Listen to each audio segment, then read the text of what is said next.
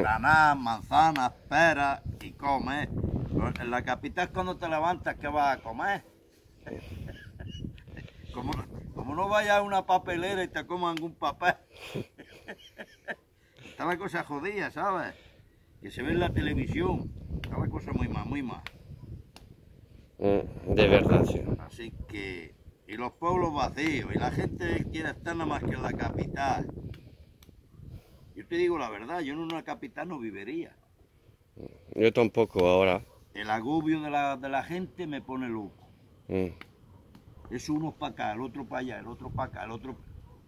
Se va la cabeza. Mm. Quiero tranquilidad. Mucho estrés.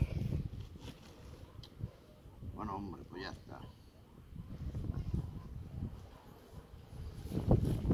Pero su casa está muy bonita. Hombre, me gustan a mí las cosas. ¿eh? Sí. Qué curiosidad. ¿Dónde eres?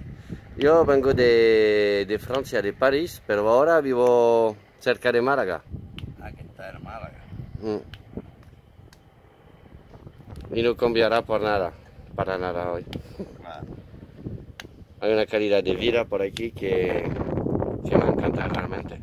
Y España de antes no tenía tanta violencia como la que está sucediendo ahora, ¿sabes? Sí, porque la, Ahora el, el estrés y... personas y antes en España no existía eso. Pero en Francia tenemos el mismo problema también. Pues, ma- más camino llevamos.